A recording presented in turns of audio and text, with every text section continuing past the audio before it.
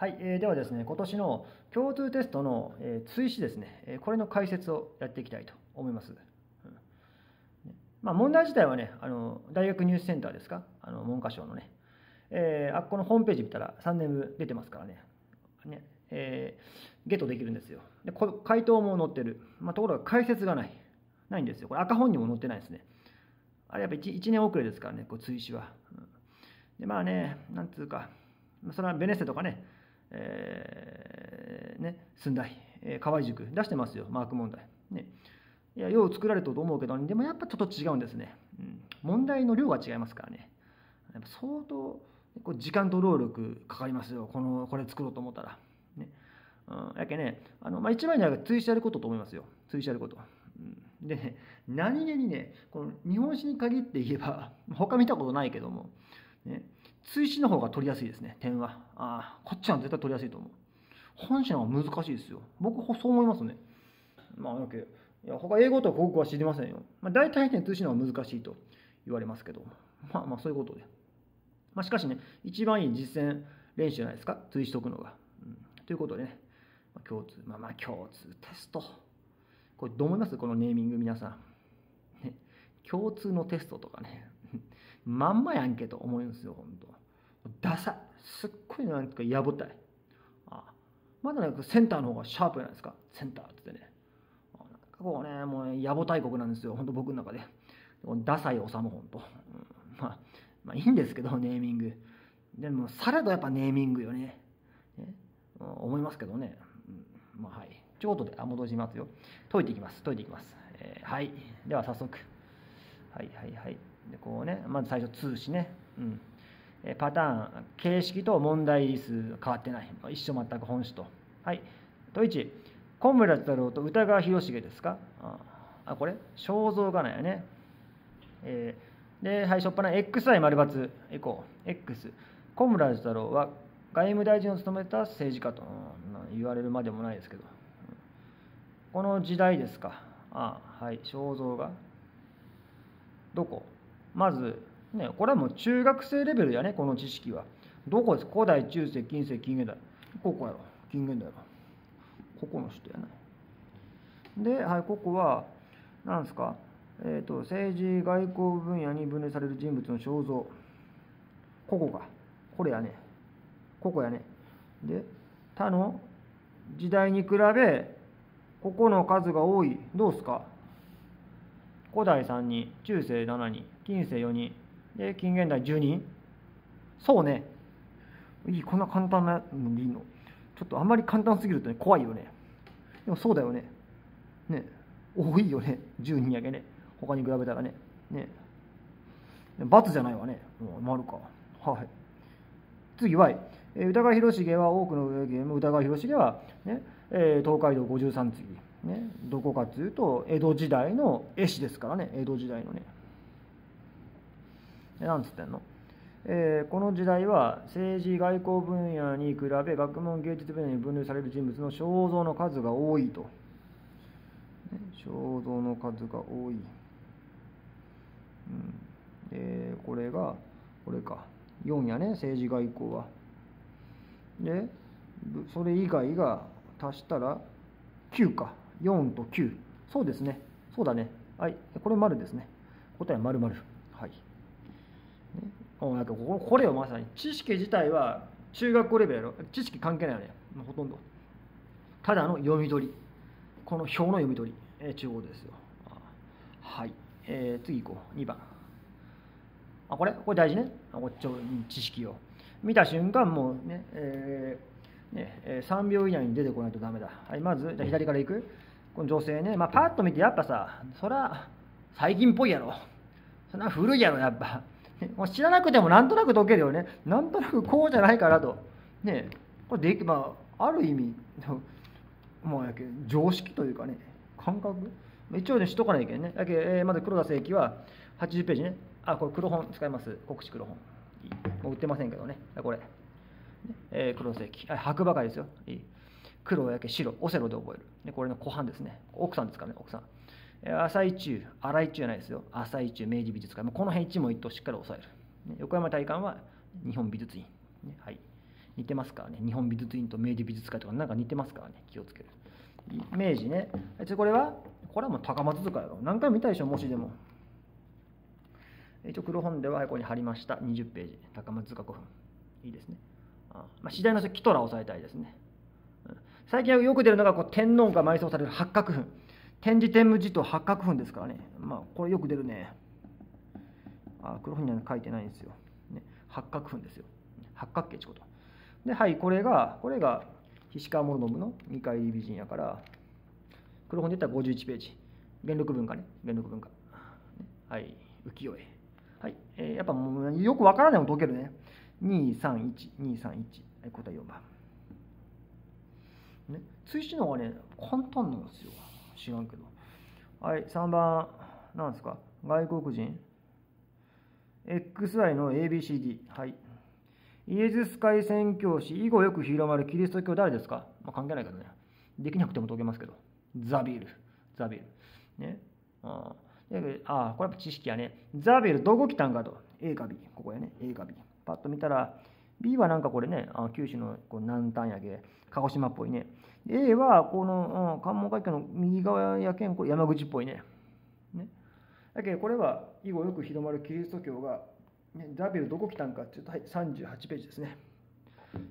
で鉄砲は種子島種子島。種子島も、ね、きちんとねえー、ね、こっちとこっちいい丸いのが屋久島。こっちの柿の種みたいな方が種子島ですからね。屋久島と種子島。きちんと、えーねえー、場所理解ですよ。いいですか？屋久島じゃないで種子島。いい。でここは鹿児島やけん、ねはい、これはできるな。すぐすぐできる。答え B ですね。うん。で Y 東インド艦隊東インド艦隊司令長官。1853年。おまあまだこれ誰か分かります？53年。翌年日米和親やから、これペリーですよ。マシュ・ペリー。うわ、ペリーのルート。これ難しいね。ペリー何人？日米和親条約ですから、アメリカ人やろ。ちょっとアメリカこっち側よね。太平洋ビヤーと来そうじゃないですか、黒船でね。蒸気船でね。あペリーは違うんですよ。こっちなんですよ。あこれどう授業でやってるの？普通ですね。僕言いますよ、ちゃんと。ね、なぜこっちが、ね、できたのか、ね、それはねアメリカがこの黒船をね見せびらかすためですよ。まあこのね、えー、なんていうかデモンストレーションするため、ね。あえー、外国に見せつけるわけですよ。C 行為ってやつやね。C まさにデモンストレート、ね。えー、そういうことですよ。こっち側から来たんですよ。うん。うわこれ間違いどうすか？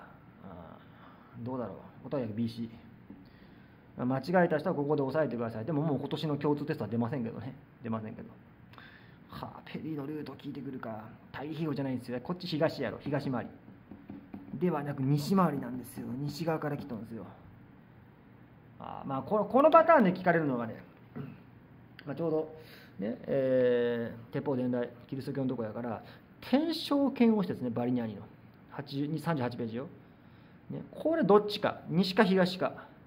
これ西回りに行ったんですこっち側でローマ目指した、ね、あのバチカン目指した、ね、じゃあ今度慶長剣王施設があるね。伊達政宗。慶長剣王施設長谷川常長が派遣した。あこれ伊達政宗仙台でしょ？仙台やろ？東北やろ、ね、これはメキシコ行ってそこから渡ったんですよ大西洋。ということは慶長剣王施設は東なんですね。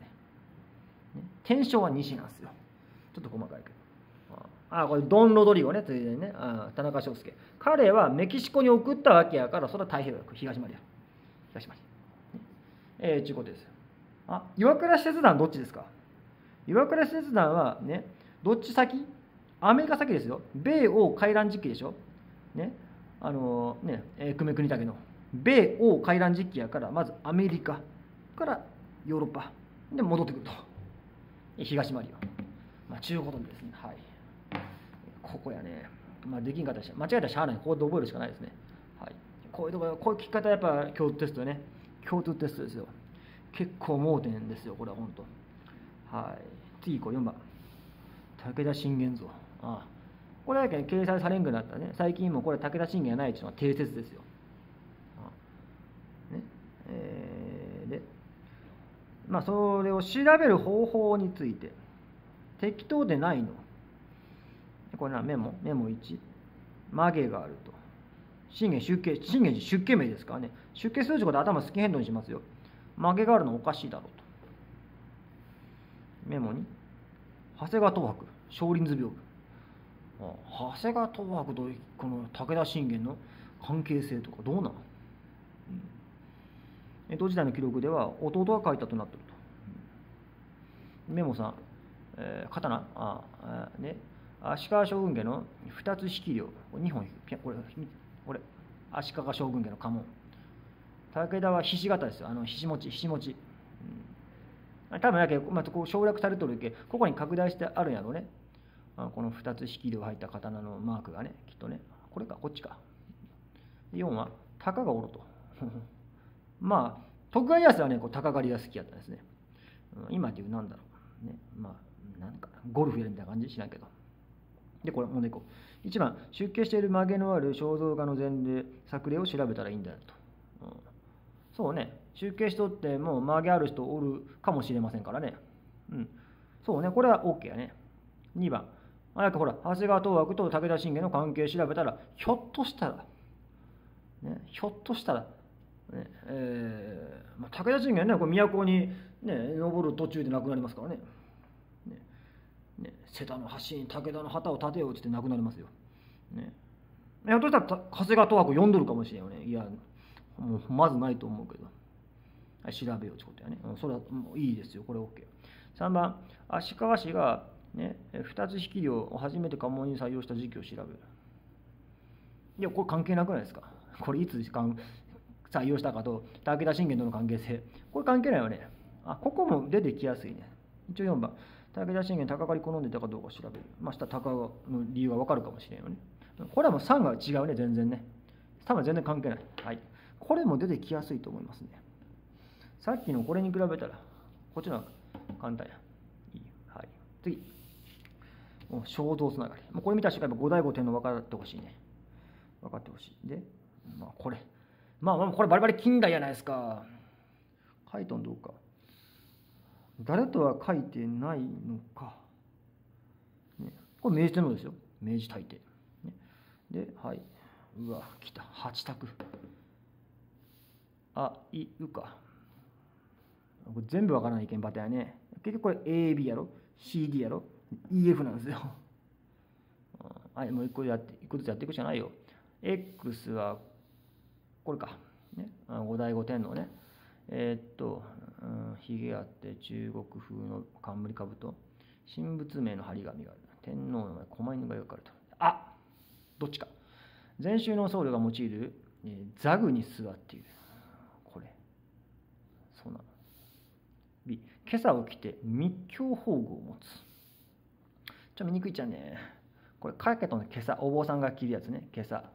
ね、あの、市営事件じゃあるやないですか、たくあんの。ね、ご水の天皇が。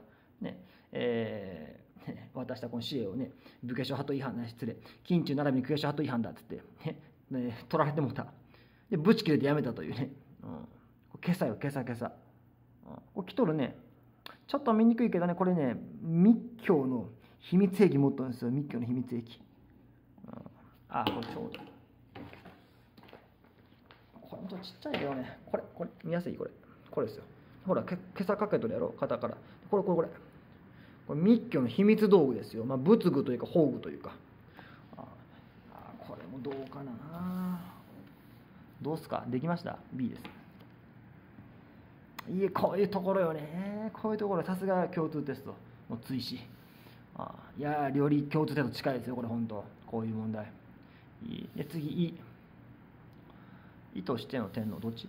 武力による支配を行う統治者。神仏と一体化した統治者どっちなのかと。どっちなのか、ね、ここでほら書いとった神仏名の張り紙ここよ。ここよね。ね。八幡大菩薩。天照ね。えー、広大大神。何ちゅうのやろ。春日大明神。春日大社やね。藤原氏のね、えー、氏神の。ね、こう仏やろ菩薩やけ。で神やろ。あちゅうことはこっちやでやっぱ。ここは解かないけどね。神仏と一体化した。統治者と、最後ですか。これは明治天皇ね。明治天皇。えー、っとオーベリックにおける君主のイメージ「う」存在さどっちか。陸海軍と、ねえー、陶酔する。国民日本国民を象徴する、これ見て。これは軍服でしょ。軍服でしょ。そこよ、ねまあ、これも思考力か。ということはこっちよやっぱ。こっちよ。軍服着とるわけ。日本国民を象徴する。これは戦後の日本国憲法やろ。ここじゃない。答えは B で E B でいい。答え B でいいか。7番7番、うん、AB 迷いますかね。どうだろう。あまあまあ実際のやつはもっとクリアですからね、うん、まあどうですか？はい。これを解かない感じですよ。次。えー、っと。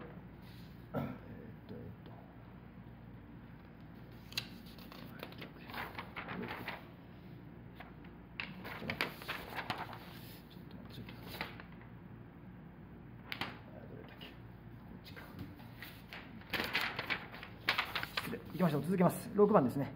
えー、っと、えー、続き真由美さんは、うん、でねなぜ追試の方が簡単かと本社やったらここでバックさせるんですよ。今までの会話を見て、ね、正しいものを選べっつって。これ実際今まとめてるから1枚やけど冊子やったらペラペラペラ何枚もめくらなきゃいけないんですよ、うん、追試やったらこうただの X の ABC なんですよ。まあということでね。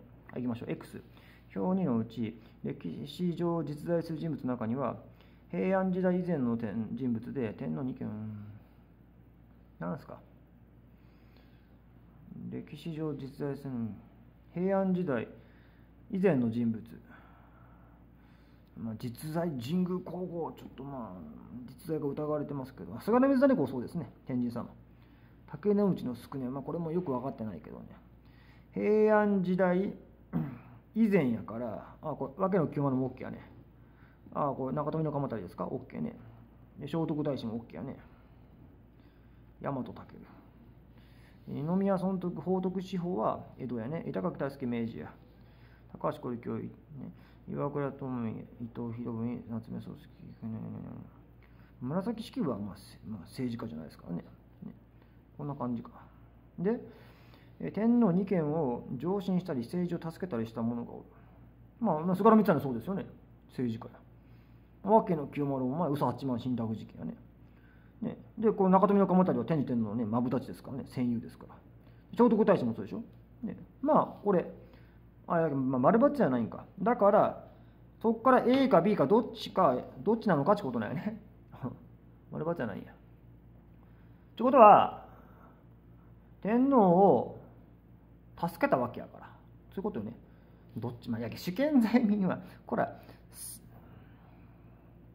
まあ近代の考え方やろ。ね、うん、それはやっぱ中華愛国ですよ、ね、君天皇に忠誠を尽くす国を愛す、うん。ね。まあ、これ教育ショックやけど、まあ、やっぱ主権罪民じゃないやろ。どっちかじゃこっちでしょ、ね、天皇を助けたわけやから。こっちやろ。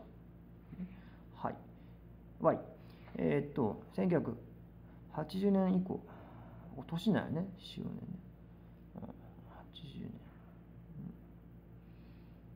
年。これはお札なんやね、お札なんやね。80年以降やからどこですか？ここか。夏目漱石。僕、子供ね、割と本当人生の半分ぐらい夏目漱石でしたよ、本当ね、うん、人生の半分、うん、近く、二等日謎でしたよ。半分以上かもしれんけどね。で、えーと、この後になると学者や作家が取り上げられるようになったと。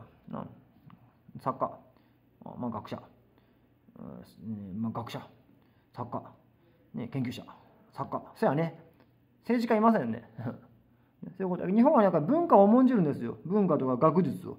そういう国なんですね。いいよね。まあ、政治はね、やっぱね、うん、いろいろあるわね。例えば糸井博文とかね、明治のね、えー、大功労者やけど、実は人切りでしたからね。ちゅうことよ。まあまあ文化文化人や学者の方が無難じゃ無難ですね本当ね、まあ、日本はそれを重んじる国なんだと。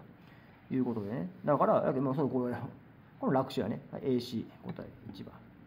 やけこれも思考力やねあんま関係ないね知識はね、まあ、個人的にはねどうなんかと思うけどね問題的には本当、うん、まあそんな難しくない。解きましょう。はい。次、えー、大問2ですか？はい。いくよ。えー、っとこれね省略されとったら勝手に入れましたよ。入れた。実際の問題がこれか知らんこの写真かどうか知らんけどでもこの写真なんですよ。アシュラ像とねこの執行兵。はい。であいいでしょ？あ空欄補充ね。2箇所空欄補充。で単語じゃなくて文章。ああに入るのはここか。アシュラ像はあ作られた。これよくあるパターンよね。製造、ねえー、法ですよ。製造法がこの天平時代、ね、仏像2つあった21ページですね、うん、これが粘土使う塑像か、ねえー、漆塗る乾漆像か。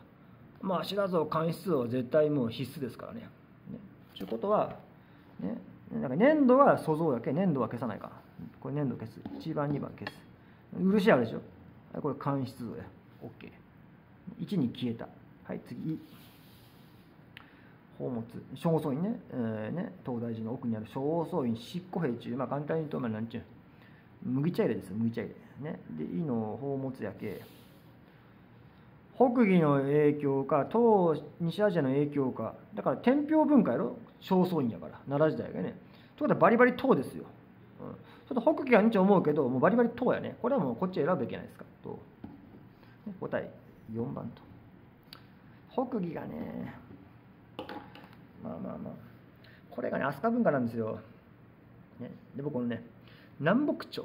南北朝の中でも北魏なんですね。これ次黒本あの改訂版出したらねあのここ北魏北魏に変えます北魏のはいいね、まあ、南北朝の北魏って書いたらまあもうまず問題ないんやけど。とにかく北魏があった方がいいですね。北魏が、うん、ということでまあこれ知らなくても不等で解けます。解ける。はい4番。次8、えー、河川部、うん。社会事業。行基人間ブルドーザー、ね、行基はい。行基に関して誤っとるのですか。1番、えー、開墾奨励する法令のもと。なんですか。奈良時代、ね、開墾をどんどん耕せと。例えば。例えば。13ページね。ね。100万丁部があった。えー、っと。えー、っと。ちょっと待って。あこっちじゃないや土地制度のところですね。100万丁分の開墾計画からの三税一新で根底年と、ガンガン耕せってことやね。はい。で、うん、まあ人間ブルドーザーなんですよ行基は。ちょっとこれ1番保留、はい、民衆のために橋や道路作ったで温泉作ってね。ね。この宿泊施設作って人間ブルドーザーですよ。えっ、ー、と行基21ページ。はい。行基行基人間ブルドーザー。えっ、ー、とここね。はいはい。この社会事業そういうことよ。道路橋港、ね、温泉、ねえー、や宿舎、はい、で大掃除次第の人大掃除抜かれますよ。かけた方がいい大掃除で4番不幸財源として病人に薬を施し。あまあこれでもねまあここでこの薬施しやけ僕ねこれ狂気してないことはないと思いますよ。仏教はこれドラえもんやからね薬提供ねこの熱がインフルで38度5分あるよって言ってる、ね、薬出しと可能性あるんですよ。あると思う。まあ、ところが施設を作ったわけやからこれが、ね、製薬院ですよ。これは光明高校ですから。ああね、あでもちょっとこれ本当に行基やってねえのか。ゼロかって言われたらどうなんですかなんかこれ危なっかしい問題だと思いますよ、まあまあ。まあ、ただこの書き方で言ったら、もうこれはもう製薬院やから、公明皇后やから違うと。まあ、まあ、それでいいと思いますけども、ちょっと、でも、実は作ってましたとか、なんかありそうですからね、行基やったらね。大丈夫か、本当。はい。まあいいや、9番いこう。並び替え。うん。ね、使用問題踏まえての並び替え。いいですね。1番、えー、ポイント探そう、ポイント探そう。やっぱ藤原級ですね。これ藤原級。こうポイントこうよ。藤原級や。2番、藤原の小黒丸とかね、キノコサメはこれまあね、あ当てるにやられちゃうんだけど、ちょっとマイナーやな。うー、これ2番難しいね、これね。これ山城しかないね、これね。あまあ、線としたちことやけ、まあ、分からんかったら置いとくしかないね。3番、でこれがまあ信楽ありますから信楽でルシャナルシャナルシャナ、ね、だいぶ作れと言ってますから。これ聖武天皇やろ、ね、だけ聖武天皇でこれが藤原京やけ藤原京は持統天皇やね。でこう藤原京これ大事よ。球場の位置が11ページね。真ん中であると。これ大事。いい？大事ね。ぼやけどいい？で、はい。信楽で聖武天皇やから空なし国なには信楽、ね、で鎮護国家ですから、うん、ここよ。山城か。しかも古い方できたね。ね山城が現在、まあ、現在中が、ね、この山城に変わるんですよ、ね、この機内の五基の山城。もともと背中なんですよ。裏側奈良の裏側っていう意味なんですね,、うん。ね、あやけこれが平安京なんですよ。ここから平安京を導かさないけんね。あのまあそこそこしとけばこんななんちゃらすぐ出てくるんですけどね。あどうだろう理系の人とかそこまでやってないですもんね。あ答えはこれが藤原京持統天皇奈良時代の3番で平安入って2番。132 132答え2番。15ですね。はい。次えー、っと10番。資料問題。もう資料問題ですよ本当。空海ですか？弘法大師。XI 丸×。XI 丸×。えー、あね、空海、取材の人ね、讃岐の人ですからね、讃岐、讃岐うどん、何県ですか？香川県ですよ。ね、あ万能池、こう有名ですよ。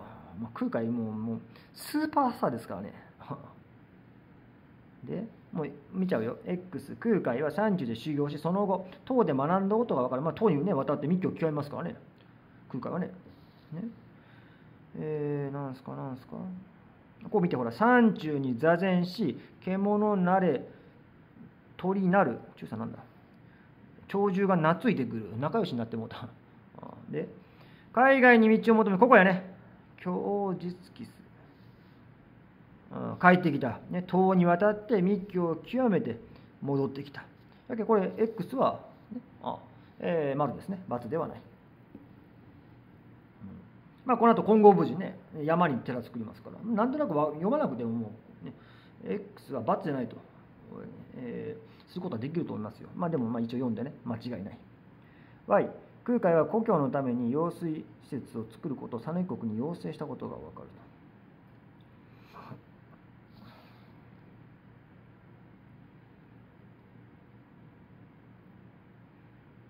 いや違う。これ讃岐の人が言ってきたんやね。言ってきたんですよ、うん、空海に、ね、この万能池これため池なんですよ。ため池を作らせてほしい作ってほしいとお願いしてきたわけですよ。したらこれを許すこれ主語はおそらく朝廷ですよ。天皇ですね。天皇。ああ。どこで天皇から指名されて空海が行ってため池を作る、うん、つまりねあ要請したのは讃岐国。讃岐、ね、国が空海に要請した。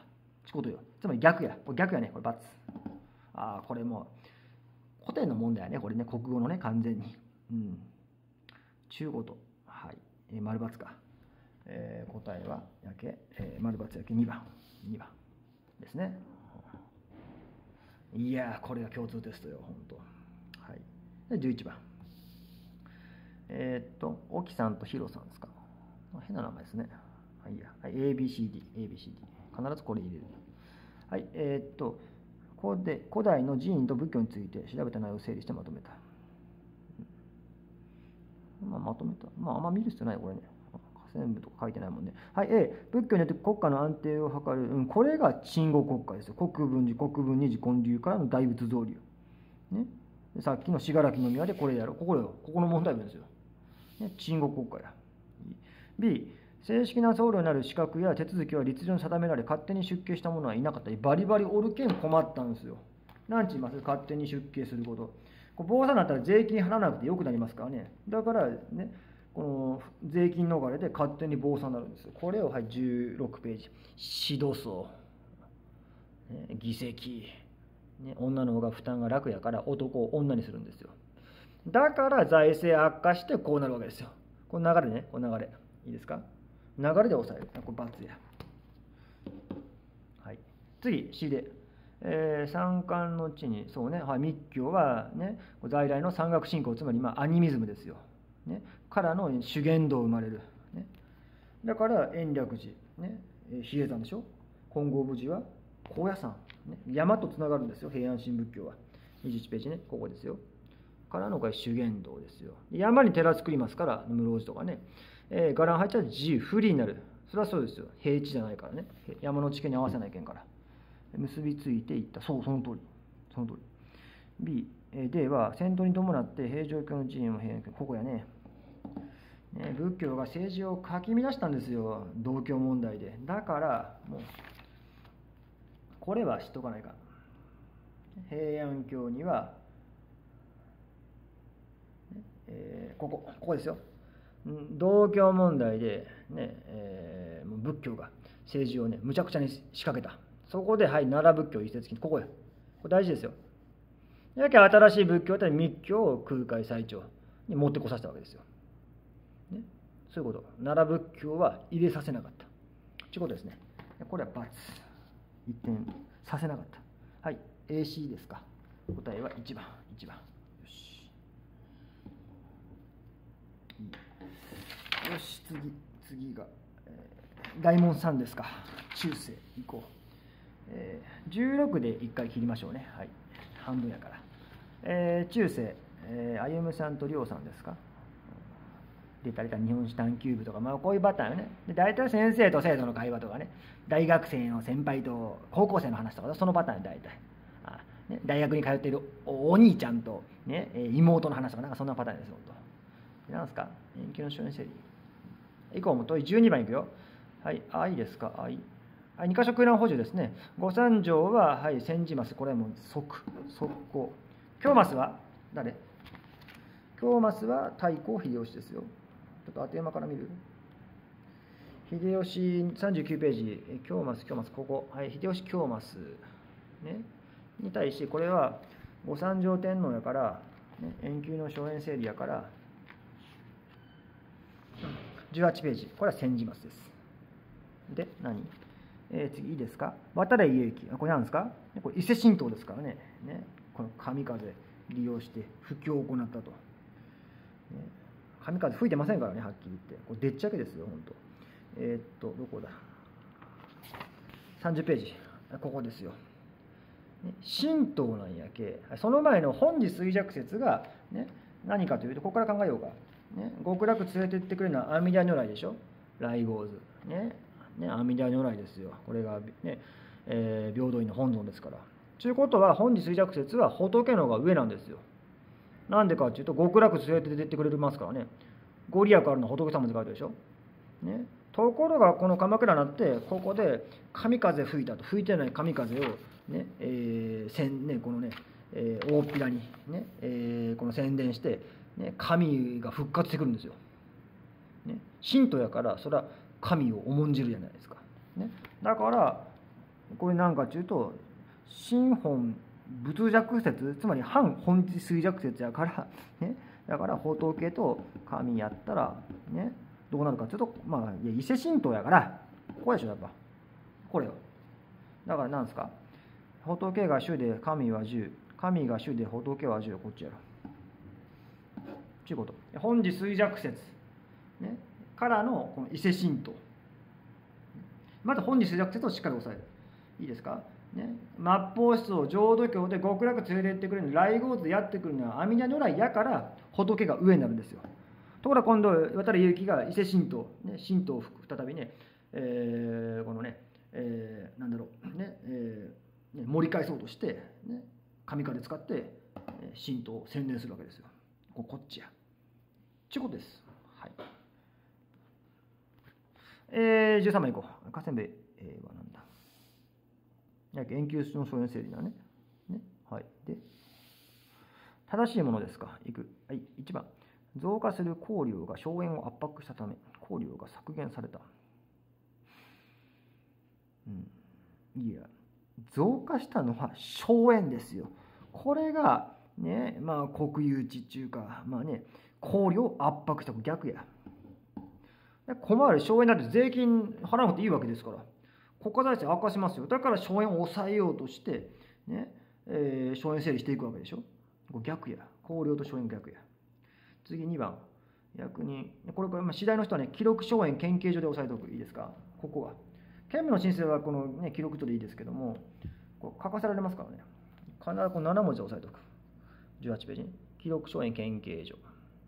ここで出てくるのは大江は大江でも正房ですよ。はい、×。ここで大江つながりで聞いてくるか。大江の広元は何ですか？これ頼朝の参謀ですよ。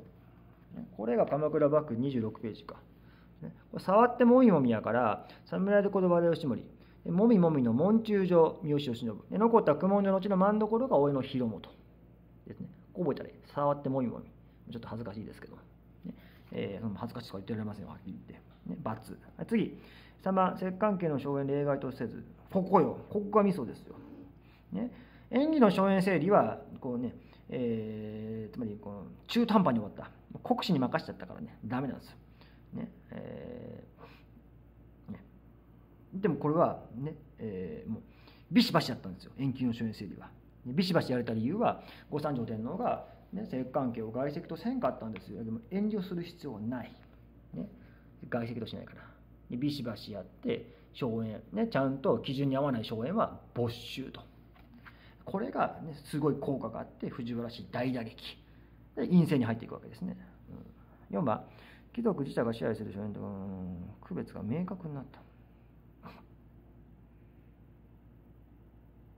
武士早いよまだ。だってまだ鎌倉時代じゃないでしょ。ここ違和感感じてほしいね。ね。武士まだそんな権利ありませんよ、ね。まあ、ここよね。まあそれか3に絞るか。3絞るか、ね。えー、答え3番ですね。これはまあやっぱ4 1にはすぐ消せます。4番ね。ここに武士と貴族自社この武士に違和感感じないといけませんね。まだ延期の先生。ね。えー、平安時代ですから。OK、平成権もまだ出てきてないわけやけね。こういうこういう考え方よねここのね。やけこうなんていうかざっくりした理解よね。これも必要ですよ。この京都テスト、ね、高得点取ろうと思ったら、うん、はい。この大雑把なね大まかな知識ってやつやね。はい14番、えー、対抗検知こ並び替えですか。いこう。1番。あこれもちゃこれいい問題やね。いい問題と思う。だけ何を言ってるのか。1番自己申告で税に換算ここでもう差出検知ですよ、ね、差出検知を導き出さないかね、差出検知出てくるのはどこですか？戦国時代ですよ。差出検知出てくるのは38ページ、戦国時代用語、自己申告です。だけど全然ダメ。はっきりわからない。これを強制的にやったんが上からね、対抗検知ですよ。対抗検知。えー、っと、対抗検知。対抗検知どこ？こね、対抗検知ね。はいはいはい。神高制から、金基準の神高制から、えー、っと、神高制から米基準に変えて、江戸時代もこれを、ね、継承する。米基準。米基準。OK。やけ、はい、戦国。次2番。戦乱の後、機内西国の荘園や考慮にも多くの地頭を配置し、地頭ですよ。で、まあ、課長前とかやね、導き出せます？ね、ボーナスよ、御家人に対する。これが上級の欄や。機内西国に進出、地頭。ね、乱やから。で、課長前、やっぱ課長前でかいかな。えー、上記の欄は26ページですね。あ、課長お前。赤抜きはないけど。はい、これ上記の欄。で、次3番。えー、なんですか。半分よ。やっぱ半分出てきたらね。半分の軍備でしょ。半よ、半、半、半。半がつくやつやろ。これが南北朝。ねえー、31ページ。これが半税例ですよ。半分から半税例、ね、はい出た。まず鎌倉2番次室町3番戦国1番。231231ああこれね面倒くさいよね、うん、それぞれからどこかズバリ書いてませんから。推測してそれを並び替えないか。あ15度。これいい問題はちゃんと知識ないと解けませんからね。はい。よし。前半あと2つか。15番。うわ、出た。めんどくさそうな問題やな、これ。ABCD。ABCD。なんすか、これ。マスですか？マスつながりか。マス。マスねうんマスでマス見たらな光電ですか？九電このマス、うん、0.7なんこれ？重藤呪文？10頭知らん。ルビー振ってねえなこれ。これちょっと大きいね。0.8やけね。これ何？これ下行マス下行マス？これちっちゃいね一番ね、これ資料ですか、えー、この光電のマスとそのマスは大きさが違う、うん。うん、大きさちゃうね。資料にこれでますと、うん、差額はあ差額ほらほら。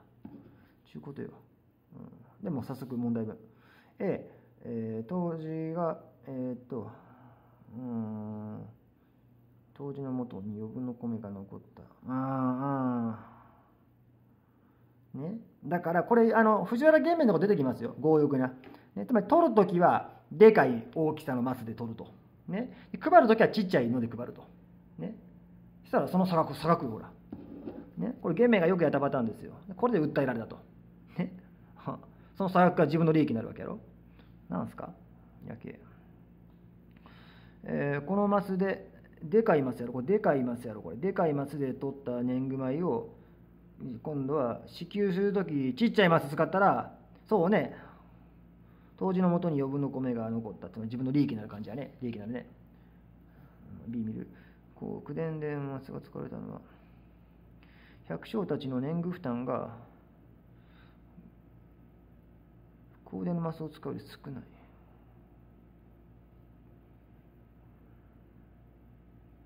いやこっちの方が大きいわけやからこっちで取ったら負担増えますよね。こっちの方が大きいやん。だってこの重党なんですかこっちの。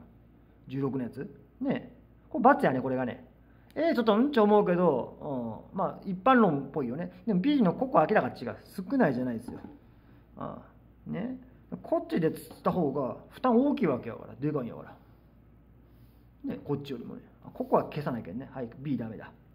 いやこれめんどくさいね。これドキドキするね。こういう問題ね。はっきり言って本当 C 当時はマスの容量に違いの洗礼であると。誰かがマスの誰かの洗礼だ。洗礼まあおそらく次こっちやろうと思わなきゃね。こっちが AB やけ。治療2があほら差額が壊れやん差額。ね。あこれ洗礼はあるよ洗礼洗礼これや。だけなんですか？代官の特分つまり自分の収入になるってことやん代官がね。代官があ代官が年貢を集めてそれを当時にまあ要するに納めるわけやね、う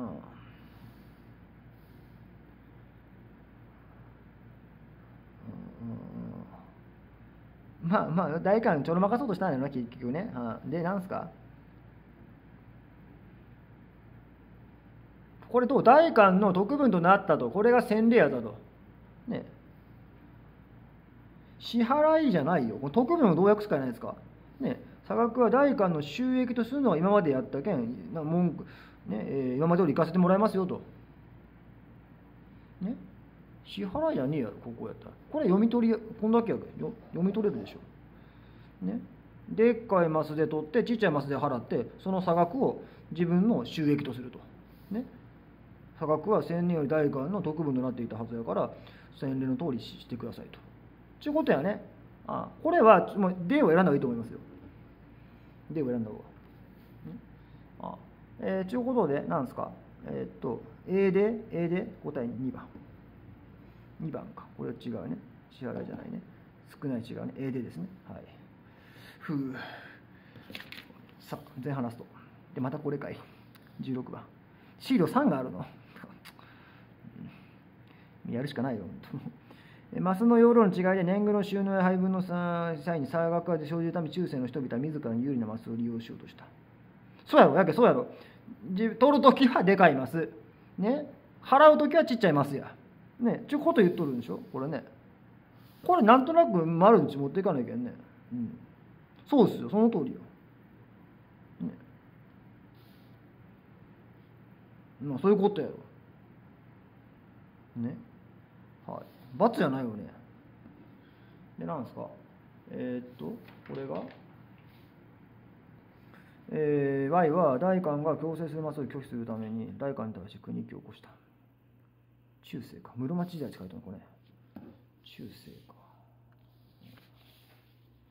えっとでも国記ですよ。国記じゃ山城の国記や、ね、あれってほら国単位でやるじゃないですか。こんな、ね、一この大官に、ね、を拒否するために起こすの国記あこれ国記の定義を聞いとる感じやね。ね国記は国単位でやるわけでしょ。山城の国記なんやから。ねこんな一この局地的なことじゃないですよ簡単に言うと、うん、これは罰やな。ここの国記の説明ちゃう。ねまあ抵抗は抵抗やけど国記ではない。うん、ということで、丸×か。2番。まあ、本心に比べたらこっちの方が解きやすいと思いますよ。圧倒的に、本当。ちょっと前半ここまでしておきます。